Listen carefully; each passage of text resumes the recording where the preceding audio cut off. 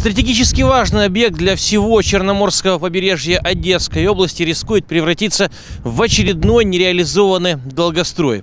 Мы с вами на мосту через Сухой Лиман. Рабочие отсюда ушли еще в августе 2019-го. Работа пока не продолжается. Ну, сейчас, разумеется, погода мешает, но вся проблема упирается в отсутствие финансов.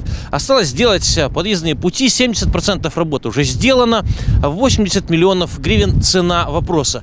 А из чего бюджета а, будут делаться работы? Кто будет а, финансово отвечать за объект? Пока что большой вопрос. Изначально финансовая нагрузка легла на мэрию Черноморска, но чиновники и управленцы города под Одессой адекватно оценили свои финансовые возможности, что они не потянут такую сумму, поэтому стали искать другие а, источники финансирования. По последней информации, а, объект, мост могла на себя взять служба автомобильных дорог. Собственно говоря, об этом говорилось на совещании, итоги которого нам а, пересказал народный депутат а, Украины, мажоритарщик по округу, где и расположен Черноморск, Сергей Калибошин. Ему слово. Дней 10 назад первый заместитель э, главы облгосадминистрации Вячеслав Овечкин э, проводил выездное совещание как раз по этому вопросу. Мяч на стороне поля сейчас мэрии, рассматриваются варианты.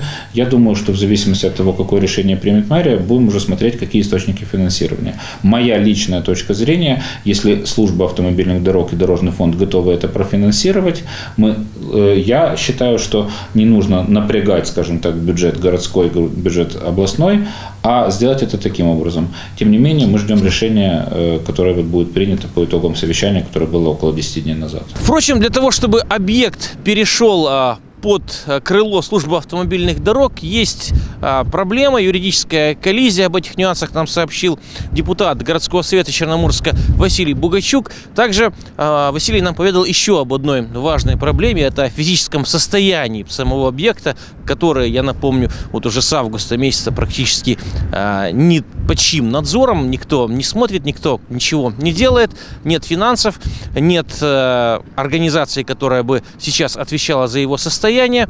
А давайте послушаем э, Василия Бугачука. Мы сегодня с вами стоим на земле частника. То есть этот мост э, стоит на земле частника. Как может Автодор принять э, строение не на коммунальной земле да, города Черноморска, не на громаде Черноморска? Плюс второй отрезок еще какому-то частнику принадлежит. Третий участок там наполовину порт, наполовину город. Потому первая проблема. Вторая проблема. Вторая проблема есть исследования, которые гласят о том, что уже вот это строение, которое у меня за спиной, оно также получило деформацию. Напомню, что с подъездными путями а, в Черноморск и к окрестным селам а, уже давно а, проблема, давно некоторые трудности. Мы помним, как на несколько месяцев перекрывали дорогу во время ремонта понтонной переправы, какие были неудобства. Понтонная переправа сделана, но исходя из того, что она не очень-то большая, не очень-то широкая в смысле пропускной способности, потребность в таком масштабном сооружении, на котором мы сейчас находимся, она есть и есть не только у жителей города Черноморск. Мы будем следить за развитием событий вокруг этого сооружения. Виталий Хемик, Константин Нищерет, телеканал «Репортер».